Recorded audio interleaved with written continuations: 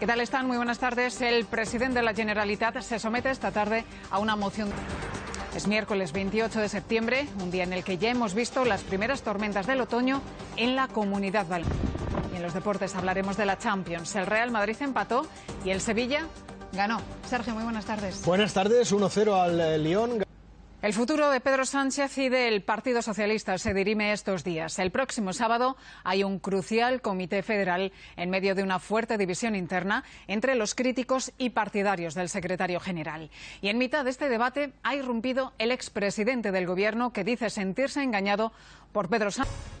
Antes, en tres días, hay comité federal y el sector crítico busca apoyos para forzar la salida de Sánchez. Una de sus bazas pasa, Yolanda, volvemos contigo, porque dimitan la mitad más uno de los miembros de la Ejecutiva. En menos de una hora, Carles Puigdemont afronta la primera cuestión de confianza a la que se somete un presidente de la Generalitat. Superará el trámite sin problemas, por lo que el interés se centra en saber si va a convocar o no un referéndum unilateral de independencia. El juez Pedraz no impone medidas cautelares contra la abogada de manos limpias, como le pedía la Fiscalía. Las hipotecas sobre viviendas cayeron en julio casi un 15%. Pues los habitantes que todavía resisten en Alepo cuentan que los bombardeos de Bashar al-Assad están siendo los más duros de estos cinco años de guerra. En el último ataque sobre una panadería han muerto seis personas. Los rebeldes aseguran estar armándose con la ayuda de potencias extranjeras, aunque no citan cuáles. Y como les decíamos al inicio del telediario, ha muerto una de las figuras clave en la historia de Israel y de Oriente Próximo. Simón Pérez, de 93 años, fallecía de madrugada después del derrame cerebral que sufrió hace tan solo unos días. Fue primer ministro, presidente y premio Nobel de la Paz.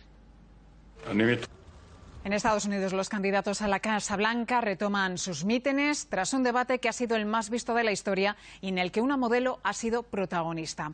Alicia Machado fue Miss Universo y se ha convertido en una activa defensora de Hillary Clinton después de contar las humillaciones que sufrió por parte de Donald Trump. Desarticulada una banda especializada en reventar cajas fuertes. Los tres detenidos, que ya están en prisión, robaban sobre todo en inmobiliarias. Los Mossos de Escuadra les imputan una decena de asaltos en Cataluña en los últimos cuatro meses.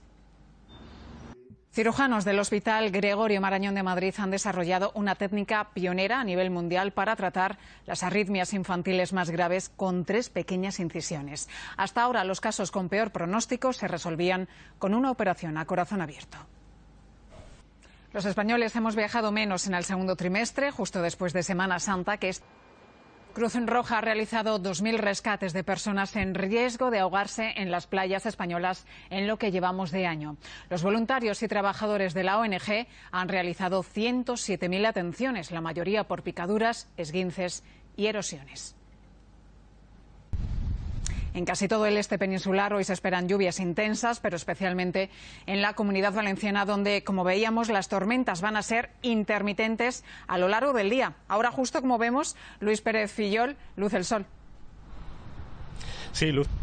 Anoche se produjo un vertido de crudo en la bahía de Algeciras, donde en este momento técnicos de medio ambiente tratan de limpiar la mancha. El derrame se produjo, al parecer, por un fallo mecánico en una monoboya de Cepsa que se utiliza para el repostaje de barcos fuera del puerto. Hablamos ahora de WhatsApp, que podría cerrar las cuentas de aquellos usuarios que no estén dispuestos a compartir parte de su información con Facebook. Hace un mes la aplicación pedía permiso a sus clientes y daba la alternativa de negarse. Ahora esta opción podría desaparecer. Esta octava entrega no es una novela ni tampoco está firmada por su autora. Se trata del guion de la obra de teatro que desde este verano se está representando en Londres. Pero estos detalles no parecen haber desanimado a los seguidores. La cubana se apunta a la moda de los musicales y vuelve a los escenarios con gente bien, una divertida crítica sobre los nuevos ricos y la necesidad de aparentar. El texto se basa en el sainete Alta Sociedad.